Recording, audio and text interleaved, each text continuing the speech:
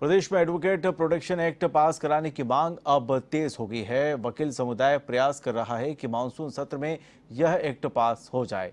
इसके लिए पिछले कई दिनों से वकील, मंत्रियों और अन्य जनप्रतिनिधियों से मिलकर एक्ट पास कराने की मांग भी कर रहे हैं। अखिल भारतीय संयुक्त अधिवक्ता परिषद के प्रदेशाध्यक्ष हितेश बागड़ी ने कहा कि वकीलों पर आए दिन हमले होते रहते हैं। कई राज्यों में एडवोकेट प्रोटेक्शन एक्ट बना हुआ है। ऐसे में राजस्थान में भी वकीलों के हित में ये एक्ट बनना चाहिए।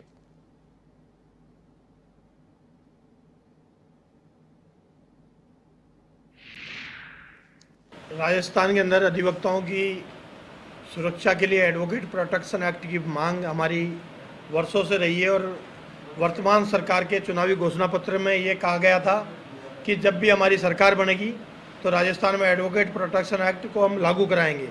उसके उपरांत हमने मुख्यमंत्री जी सहित सभी मंत्रियों से को ज्ञापन भेजा है, गवर्नर को ज्ञापन भेजा है, और ये मांग की है कि राजस्थान में एडवोकेट प्रोटेक्शन एक्ट तुरंत प्रभाव से लागू किया जाना चाहिए, क्योंकि वकील अपराधियों की पैरवी, अपराधियों के खिलाफ पैरवी करता है आम जनता की।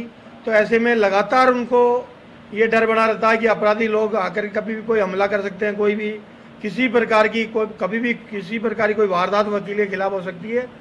और फ़िलहाल कई दिनों से हम देख रहे हैं, पिछले छः महीने से लगातार वकीलों पर हमले हो रहे हैं। इस मांग को लेकर के हमने राजस्थान सरकार के सहित राज्य के पुलिस महानिदेशक लाटर साहब को भी ज्ञापन दिया था।